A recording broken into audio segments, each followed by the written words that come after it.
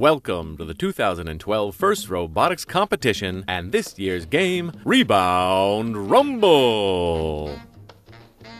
Rebound Rumble is played on a 27 by 54 foot court. Alliances of three teams each operate their robots from behind alliance walls at the ends of the court. Four scoring hoops are located in each alliance wall, positioned at three different heights. A low barrier extends across the middle of the field. Three bridges cross over the barrier. Each bridge has three positions tilted toward either end of the field, or balanced level and stable on the central barrier. Rebound Rumble is played with compact foam basketballs. The objective is to score as many basketballs as possible in the hoops at the far end of the court. The higher the hoop, the more points it's worth. Robots can track the reflective vision targets above each hoop. This allows them to target hoops from anywhere on the court. The match begins with each robot touching their key at the far end of the court. Robots can be preloaded with one or two basketballs each.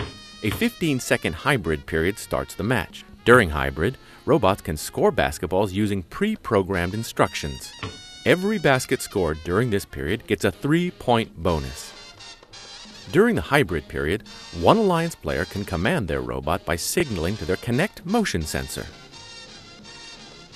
At the end of this period, human drivers step forward to take the controls. As the teleoperated period starts, teams command their robots to score as quickly as they can. Balls can be scored from anywhere on the court. The top of the key is a safe zone. Robots shooting from here are protected from interference by their opponents but robots not touching this safe zone have to deal with defending opponent robots. As balls are scored, they are returned by players at the corners of the court. Robots can only hold three balls at a time. Once full, they drive the length of the court to score. They can use the bridge or cross the barrier to get there. Near the end of the match, robots drive onto their bridge and balance it for bonus points. Two robots on their own bridge will get even more points.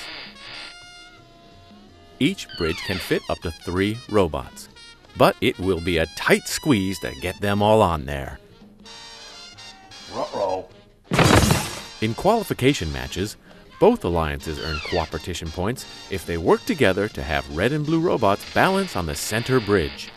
This is critical for the team's tournament seeding position. Cooperating will be just as important as winning if you want to be successful. Good luck, and we'll see you at the competitions.